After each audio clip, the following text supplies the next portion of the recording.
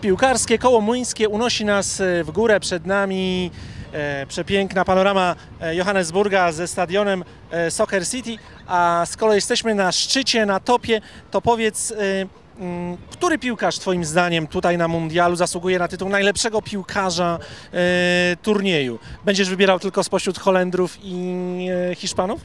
No chyba, chyba nie mamy wyjścia, bo, bo te największe gwiazdy, których spodziewaliśmy się, po których spodziewaliśmy się, że będą błyszczeć, czyli Messi, Ronaldo, e, Wayne Rooney, e, one, one, one zawiodły. Natomiast e, Holendrzy, zwłaszcza Holendrzy, po bardzo, bardzo dobrym sezonie, sezonie klubowym mają teraz świetne Mistrzostwa Świata. Ja myślę zwłaszcza o Arianie Robenie i, i Wesleyu Snyderze.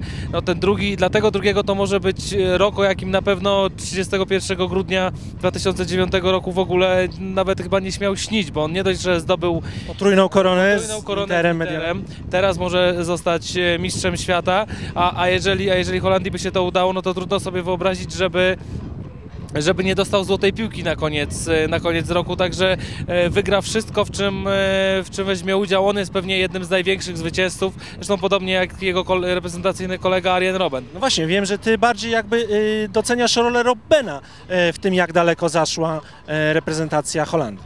Znaczy, ja doceniam jego umiejętność samodzielnego wpływania na wyniki drużyny. Ja byłem na wszystkich meczach Robena e, w RPA, bo jak pamiętasz, on na początku pauzował z powodu kontuzji.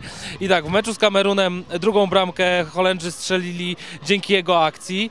E, w meczu ze Słowacją to jakby on strzelił gola tego pierwszego, który, który jako jedyny przebił się przez, przez bardzo szczelną obronę, obronę Słowaków i zrobił to samodzielnie. Nie potrzebował do tego kolegów.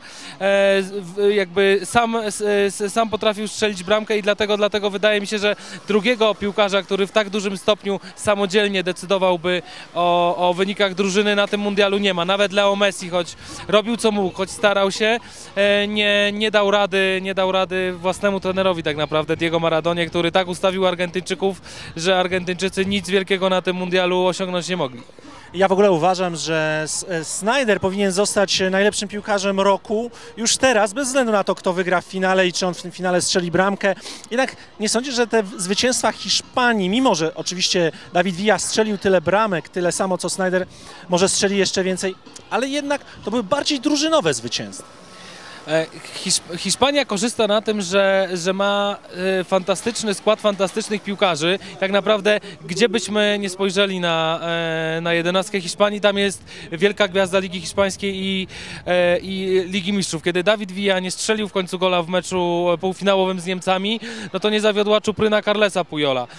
I ja myślę, że, że w meczu finałowym, w meczu z, z Holandią może być bardzo podobnie. To znaczy Holendrzy będą się zajmować, będą się zajmować na przykład Dawidem Villą, a, a zaskoczyć tym razem może na przykład Sergio Busquets. I tak mo moglibyśmy wymieniać każdego, każdego z, z Hiszpanów. Tam tak naprawdę każdego stać na to, żeby strzelić gola i przesądzić o Mistrzostwie Świata.